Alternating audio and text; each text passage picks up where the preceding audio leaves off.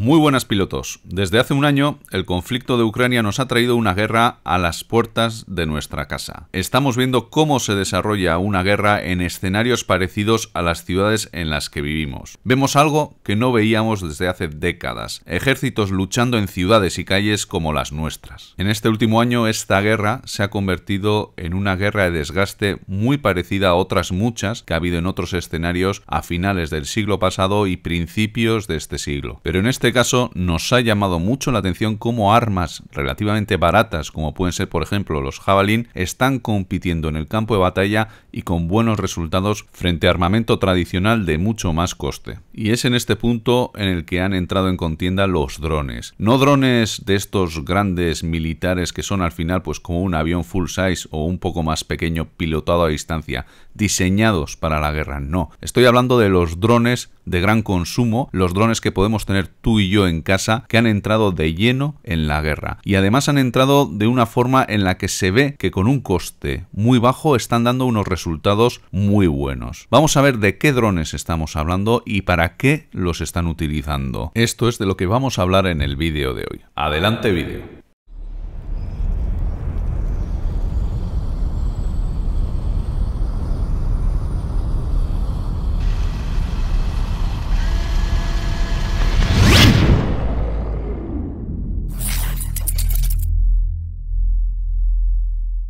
Para empezar, yo haría una distinción de tres tipos o tres familias de drones. Por un lado, los drones militares, los que se han diseñado para uso militar, ya sea espía o de ataque, que pueden ser pues los tipo americanos MQ-9, que llegan a costar hasta 100 millones de euros, incluso el Bainaxtar TV2 turco, el Winglun chino, que cuesta bastante menos, 5 millones de euros, el S-70 ruso o hasta los famosos drones iraníes low cost que Rusia está utilizando en este conflicto. Estos al fin y al cabo son casi casi aviones militares a escala 1-1 o en miniatura que se han diseñado para un uso militar y que se están utilizando pues como un arma más en la guerra. Luego tenemos otras dos familias eh, que son por un lado los drones estabilizados tipo DJI que se están utilizando sobre todo para acciones, digamos, de vigilancia, aunque también alguno de ellos se ha utilizado para lanzar granadas o bombas. Y finalmente tenemos los drones FPV, nuestros queridos dronetes FPV, que mayoritariamente se están utilizando como drones kamikaze, casi casi como misiles. ¿eh? Más de una vez he empezado un vídeo diciendo este dron es un misil, pues en este caso tristemente se ha convertido en la realidad. En este vídeo al menos nos vamos a olvidar de los del primer grupo, los drones militares, y nos vamos a centrar en los dos últimos. Y empezamos con los drones estabilizados, los drones tipo DJI. Estos drones que tenemos nosotros en casa, que utilizamos para grabar vídeos y tomar fotografías y que en esta guerra se están utilizando mucho, sobre todo para labores de vigilancia, e incluso en algún caso se han modificado para utilizarlos como plataforma de lanzamiento de distinto material explosivo. ¿Y cuáles son las ventajas de estos drones estabilizados? Pues por un lado son muy fáciles de conseguir y además en grandes cantidades, por otro lado son baratos, pueden costar pues desde los 300 400 euros, son muy fáciles de volar, apenas necesitamos una instrucción de un par de horas para que un soldado aprenda a manejarlos bien y por otro lado nos ofrecen un tiempo de vuelo bastante alto, ¿eh? pues en torno a los 30 minutos o incluso más y con distancias que pueden superar fácilmente los 10 kilómetros. Con todo ello que conseguimos, pues un perfecto aliado para saber dónde está el enemigo. Tenemos una atalaya alta que podemos colocar donde queramos, una plataforma de observación y también una plataforma de grabación para la propaganda para los vídeos que luego utilizaremos en las redes sociales, por ejemplo, o en las noticias para publicar, digamos, nuestros avances y nuestros logros. Además, con mínimos cambios podemos utilizarlos para lanzar bombas. Digo mínimos cambios porque es muy fácil. En vez de conectar el LED inferior, en ese lugar conectamos un servo que suelte una bomba y ya tenemos ya una plataforma perfecta para lanzar cualquier tipo de explosivo. Como desventaja está que son fáciles de anular si se dispone pues de un inhibidor de frecuencias, ya que podemos ocultarle los satélites o bien también podemos cortar la comunicación con el piloto. En general, como veis, las ventajas son muchas, son muy baratos de conseguir, incluso hay modelos que pueden volar en lluvia o de noche, por lo tanto se han convertido en un aliado perfecto para cualquiera de los dos bandos en este momento. Los vemos mucho y los veremos más. Uno de estos drones ya lo vimos en el canal, es el DJI Enterprise Dual y es perfecto para este tipo de operaciones. Por un lado nos da un rango de imagen y vídeo de hasta 10 kilómetros, tenemos también imagen infrarroja, tenemos imagen térmica, con lo cual podemos ver de noche, podemos ver incluso por debajo de los árboles, es una pasada. En el momento que yo lo volé,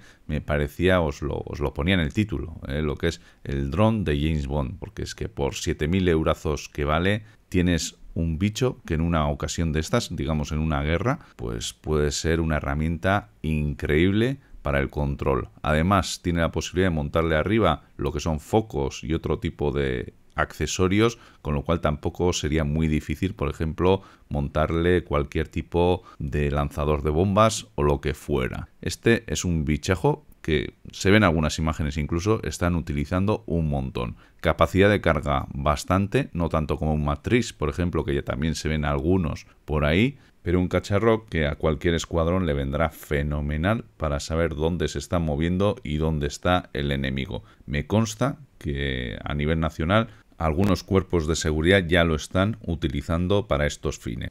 Y llegamos finalmente a los drones FPV. Yo creo que es la primera vez que se utilizan este tipo de drones en una guerra, o al menos es la primera vez que la opinión pública tiene conocimiento de ello. Se utilizan sobre todo como pequeños misiles, como os decía antes. Son los conocidos como drones kamikaze. ¿Qué ventajas tienen? Pues también son fáciles de comprar o de montar son muy baratos, eh, desde 150 euros podemos montar un dron de este tipo, son rápidos, pueden llegar hasta más de 150 kilómetros por hora, si los dotamos de motores potentes pueden llevar un peso medio, pueden volar de día, de noche o con lluvia con una mínima preparación, poniéndoles cámaras nocturnas, cubriéndolos con epoxi o como sea. Podemos meterlos en cualquier sitio, podemos meterlos en un bosque, podemos meterlos por una ventana, podemos colocarlos donde queramos. Y finalmente pues tienen también un rango de hasta 10 kilómetros o en algunos casos incluso más. Los contras, pues en contra tenemos que son difíciles de pilotar, se necesitan muchas horas de práctica para volar un dron de este tipo.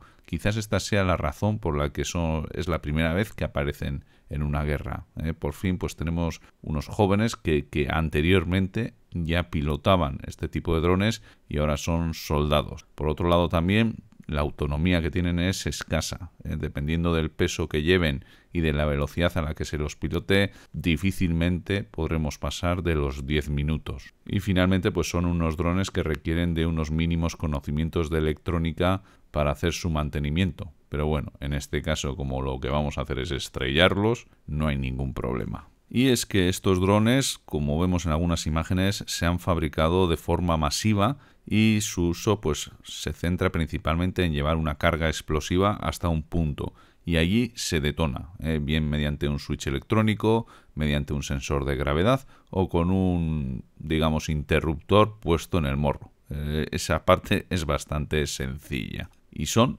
los dos bandos los que los están utilizando según vemos en las imágenes que os ponemos aquí. El último que se ha hecho más famoso ha sido el boomerang ruso que se acaba, digamos, de lanzar a la opinión pública. Lo han lanzado como si fuera algo muy novedoso, pero si veis es un dron FPV con unas modificaciones mínimas, por no decir ninguna.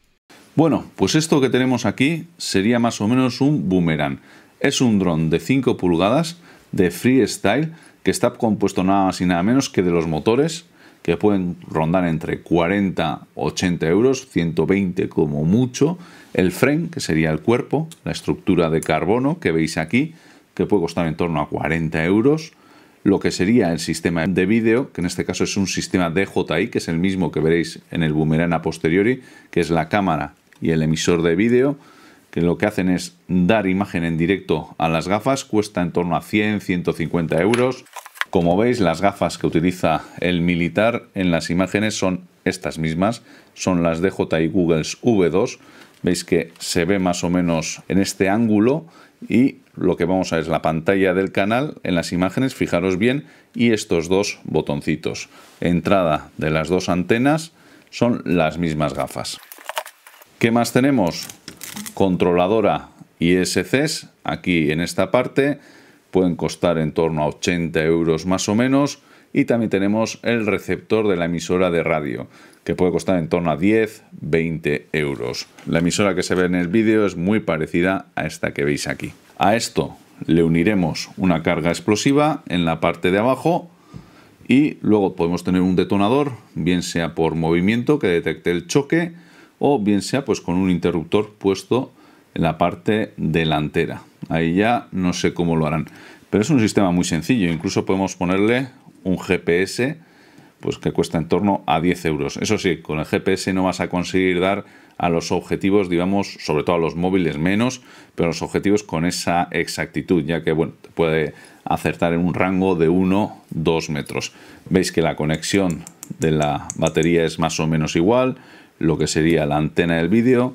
Estamos hablando de que los rusos nos han mandado al campo de batalla como la última novedad un dron como este de 5 pulgadas, ni más ni menos. Comentaros únicamente que una cosa que me ha extrañado es que utilicen un dron de free de 5 pulgadas, que bueno, la ventaja que tiene es la agilidad, y que no utilicen un dron pues de 7, 8, 10 pulgadas, que sería con hélices más grandes, con lo cual tenemos posibilidad, por un lado, de llevar más peso, más explosivo y más batería, y que también pues, te puede hacer distancias más largas.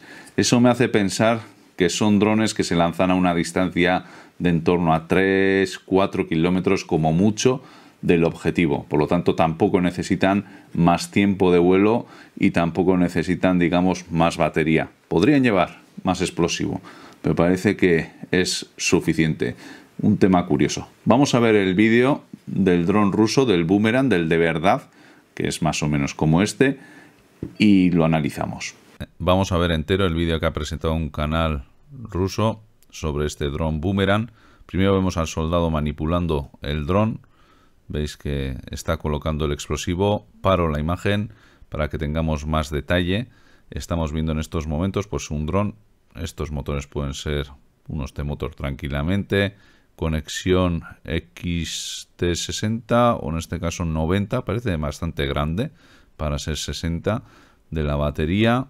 Veis que tiene un montón de cablecitos, por lo tanto como mínimo estamos hablando de una S6, es muy probable, bueno, de una 6S, es muy probable que sea una 8S, porque yo aquí veo muchos puntitos.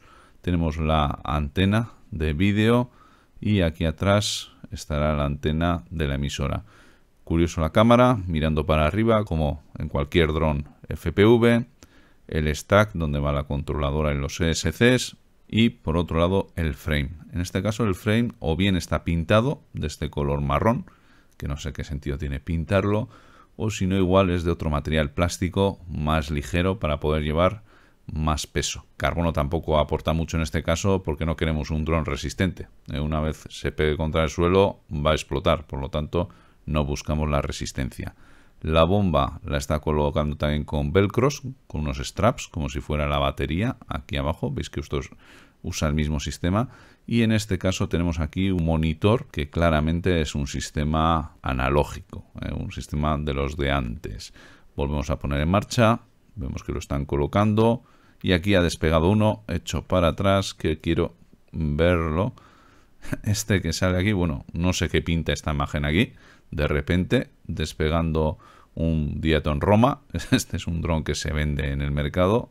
Veis que, bueno con su pequeña lipo su GPS receptor de 900 o TBS y, y nada más. Es que es un dron del AliExpress o de Banggood despegando. No, no pinta nada aquí. Aquí tenemos otra imagen de otro dron distinto. Veis que aquí tiene los TPUs. Estos me recuerdan al Mark IV eh, con los bracitos. Yo diría que igual es un Mark IV. No me extrañaría como el que acabamos de ver ahora. Parte de atrás, sistema de GPS. Dos antenitas de la Air Unit. y luego aquí el explosivo y aquí delante lleva una cosita que no me extrañaría que fuera el detonador para que pueda explotar. Esto es algo distinto al, al boomerang. Aquí los cazadores de drones estarán diciendo que no se pueden cazar o alguna cosita así porque no llevan el GPS como tal y los pilotos. Y es bastante curioso lo que podemos ver. Por un lado está el compañero del piloto que está utilizando un monitor analógico con sus antenas veis que sobresalen de aquí. Esto aquí no son gafas, son gafas de ventisca normales, gafas tácticas, y estos son los auriculares, y aquí está el piloto a la derecha, el piloto real. Veis que tiene una emisora, su antenita de 900 MHz, y aquí están las gafas, que tiene pinta de que sean unas gafas DJI. Volvemos a poner en marcha, ahí está el piloto, el otro no sé qué pinta, porque si va con unas DJI y este con un monitor analógico, poquito va a hacer. Si me dices que tiene una salida y por Bluetooth o por cable está viendo en el teléfono, en una tablet, vale. Pero esto de aquí es un monitor analógico, no pinta nada en este caso. Despega el dron, vemos que es el mismo de antes, con su frame blanco, la parte bajo el explosivo y arriba el cacholipo que lleva. Llevará bastante peso este bicho. Este bicho tiene mucho peso. Con esta lipo grande, no me extrañaría que sea de más de 2000 miliamperios. Como os decía, son 6S o 8S. Es un cacharro. Aquí vemos que sobresale la antena. Y abajo el explosivo. Habría que ver hasta cuántos gramos puede llevar de, material explosivo. Va para allí, no nos hace ninguna chirivuelta especial y despega. Misma imagen de antes, con este botellín de agua eh, con el explosivo y el dronete. Yo creo que esto es un XT90, ¿eh? lleva un pedazo lipo aquí puesto. Lo monta y ahora tenemos imágenes. Estas imágenes son también del sistema DJI. Veis que al final tenemos el centro bien definido y la parte de fuera como más pixelada. Este es el típico truco que utiliza DJI, digamos, para optimizar el ancho de banda. La parte central la tenemos bien definida y la parte de fuera se ve peor. Por lo tanto, bueno, pues estamos hablando de un dron normal y corriente. Y esto es lo que os quería enseñar hoy, cómo el ser humano volvemos a utilizar aparatos o cosas que se crearon para la diversión para hacer la guerra. Estas serían pues las versiones modernas, digamos, del cóctel Molotov, ¿eh? al final algo que utilizamos ordinariamente de un coste bajo al que se le ha dado un nuevo uso en la guerra y en este caso con bastante eficacia. Está claro que esto ha venido para quedarse. Seguiremos viendo evoluciones de estos drones baratos que al final prestan el mismo servicio, pues por ejemplo, que podía prestar un Black Hornet que, que vale 10, 20, 30, 40 veces más que estos dronillos que están utilizando ahora en Ucrania. Muy bien, Espero que os haya gustado el vídeo de hoy, me he salido de lo normal, pero me parecía un tema interesante. Por supuesto, espero vuestros comentarios aquí abajo, a ver qué os parece todo este tema. Darle al like si así ha sido, suscribiros al canal si todavía no lo habéis hecho y nos vemos en el siguiente vídeo. Hasta la próxima, pilotos.